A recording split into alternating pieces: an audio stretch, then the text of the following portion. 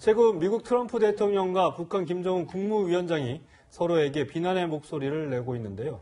네, 그러는 사이에 북한의 동창리 미사일 발사장에서 수상한 움직임이 포착됐습니다. 최선 기자입니다.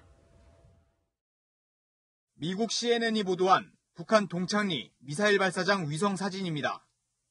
엔진 시험장 한쪽에 사흘 전에는 보이지 않던 대형 화물용 컨테이너가 놓여 있습니다. 지난해 싱가포르 북미 회담 이후 이곳은 사실상 폐쇄되었는데 새로운 움직임이 포착된 겁니다.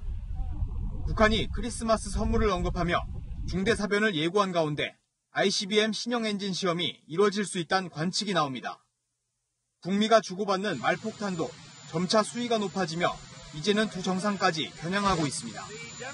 북한은 최근 트럼프 대통령이 김정은 국무위원장을 로켓맨으로 지칭한 것에 발끈해 맞대응에 나섰습니다. 최선희 외무성 제1부상은 정말로 늑다리의 망령이 다시 시작됐다고 강하게 비난했습니다. 화염과 분노로 일컬어지는 일촉즉발의 2017년 상황과 똑같습니다.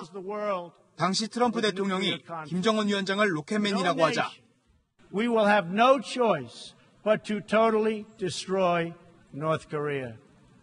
Rocket Man is on a suicide mission for himself and for his regime. 김 위원장 역시 늑다리로 맞받아친 바 있습니다. 지할 소리만 하는 늑다리에게는 행동으로 보여주는 것이 최선이다.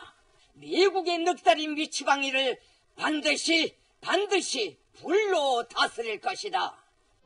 이틀 전 박정천 인민군 총참모장은 물리적 격도를 저지시키는 유일한 담보는 두 정상의 친분 관계라고 밝혔는데 트럼프 대통령과 김정은 위원장의 브로맨스에도 금이 가면서 긴장감이 고조되고 있습니다.